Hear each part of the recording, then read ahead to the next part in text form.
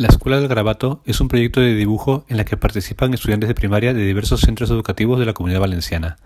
Es una invitación a dibujar por dibujar, siguiendo unas premisas que no son otra cosa que una excusa para perderse entre las líneas de los rotuladores y las manchas de tinta. Es un juego que abrimos a grandes y pequeños, para que lo adapten, distorsionen y amplíen según sus necesidades. Solos, aunque mejor en compañía, siempre mejor en grupo porque en la escuela de garabato no es tan importante el dibujo resultante como el momento que compartimos haciéndolo. Desde aquí lanzamos la siguiente pregunta. ¿Cuántas formas tiene un garabato?